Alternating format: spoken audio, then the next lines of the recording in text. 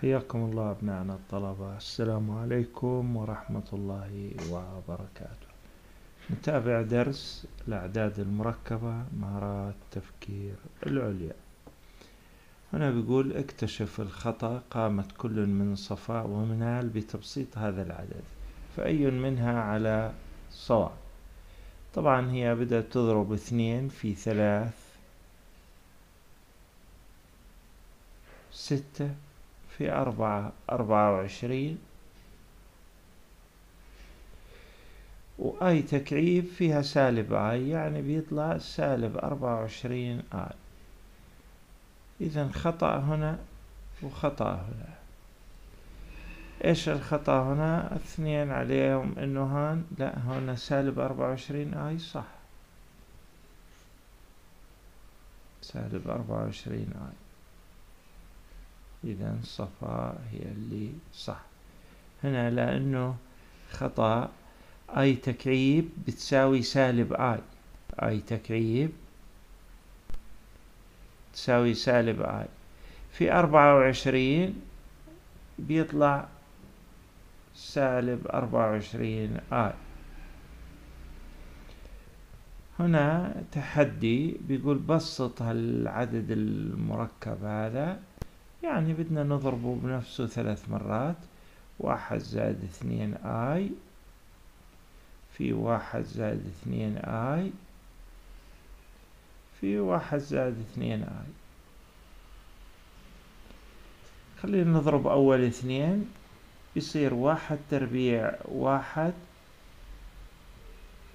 وبعدين يعني واحد زائد واحد في اثنين آي اثنين آي وهنا اثنين آي يعني بيصير أربعة آي زائد أربعة آي تربيع هذا ضرب أول اثنين. مضروب في الثالث اللي هو واحد زائد اثنين آي. صفوا هون سالب أربعة مع الثلا الواحد. يصيروا سالب ثلاث زائد أربعة آي واحد. في واحد واحد. واحد في اثنين آي اثنين آي واثنين آي في واحد اثنين آي. مجموعهم أربعة آي. اثنين آي في اثنين آي أربعة آي. تربيع بيصيروا سالب واحد زائد واحد سالب ثلاث. الآن بدنا نضربهم بإيش؟ بواحد زائد اثنين آي. بنوزع سالب ثلاث في واحد سالب ثلاث. سالب ثلاث في اثنين آي سالب. ستة آي. آه انتهينا من السالب ثلاثة. أربعة آي في واحد زائد أربعة آي. أربعة آي في اثنين آي زائد ثمانية آي تربيع. تمام. ثمانية آي تربيع بتعطي سالب ثمانية. مع السالب ثلاث بيصيروا سالب إهداش وهنا ناقص ستة آي زائد أربعة آي بيصيروا ناقص اثنين آي. طبعا كله شرحناه سابق. إحنا الآن نحل مهارات تفكير عليا يعني نختم بالدرس. ما نشرح إشي جديد؟ هذا سؤال سبعة وخمسين. ثلاث أعداد مركبة اضرب أول اثنين والناتج نضربه في العدد الثالث. سؤال ثمانية وخمسين حدد إن كانت الجملة الآتية صحيحة دائما أو أحيانا أو غير صحيحة أبدا. يتكون كل عدد مركب من جزء حقيقي وجزء تخيلي.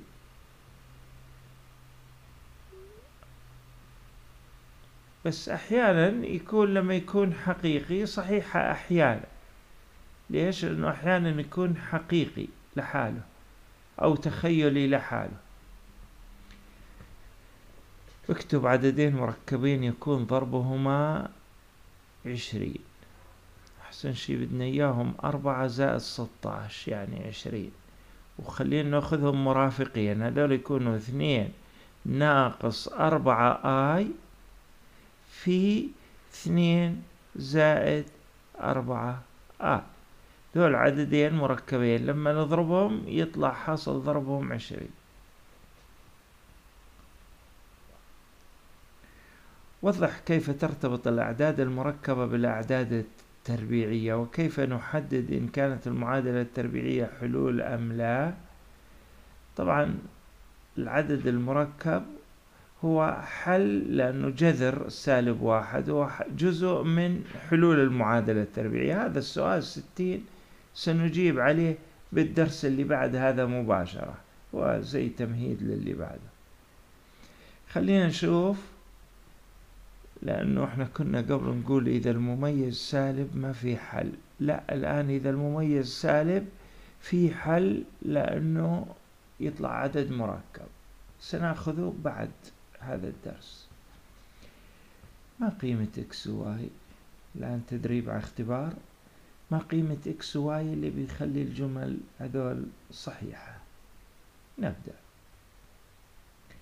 الجزء الحقيقي هنا بدأ تبسيط هاي مش مبين الجزء الحقيقي الجزء الحقيقي خمسة ناقص إكس.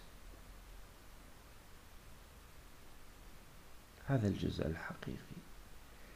والجزء التخيلي زائد i i أربعة ناقص Y هذا الجزء التخيلي.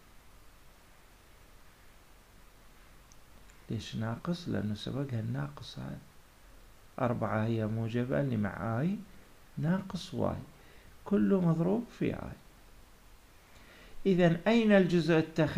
الحقيقي والتخيلي؟ هذا الجزء الحقيقي وهو يساوي سالب واحد.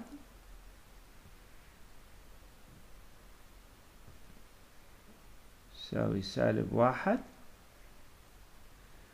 أما الجزء التخيلي هذا هو. ويساوي سالب ثلاثة i أو سالب ثلاثة لحاله عشان i مقابلها i بنروح نحل المعادلات. خمسة. ناقص x يساوي سالب واحد. اطرح خمسة. اطرح خمسة. يصير سالب x. يساوي سالب ستة اضرب الطرفين بسالب واحد أو اقسم على سالب واحد إكس تساوي ستة. ما في غير الأولى. شوفوا الثانية. أربعة ناقص سبعة يطلع سالب ثلاث نعم. إذا الأولى هي الصح.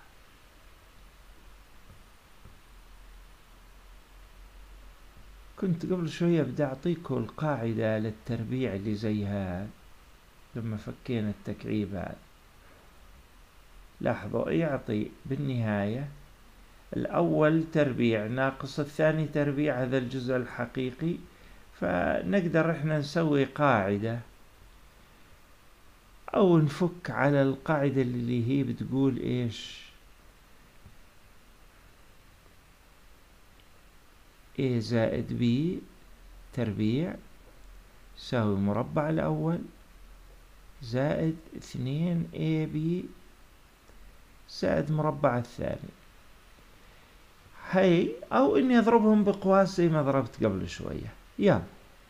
مربع الأول تسعة زائد اثنين في ثلاث في ستة ستة وثلاثين. آي. لأنه اثنين في ثلاث ستة في ستة ستة وثلاثين في آي زائد مربع الثاني ستة آي تربيع يعني ستة وثلاثين آي تربيع. الآن هاي بتصير سالب ستة وثلاثين. مع التسعة سالب ستة وثلاثين ناقص تسعة بيطلع سالب سبعة وعشرين.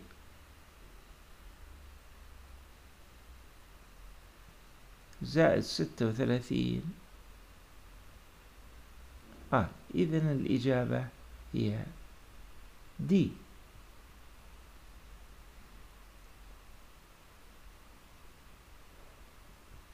طبعا إحنا إن شاء الله راح نأخذ نخش على حل المعادلات التربيعية وخصوصا اللي نستخدم القانون العام والمميز الدرس القادم إن شاء الله. هيك حلينا لكم مهارات التفكير العليا وتدرب على اختبار. شكرا لكم. السلام عليكم ورحمة الله.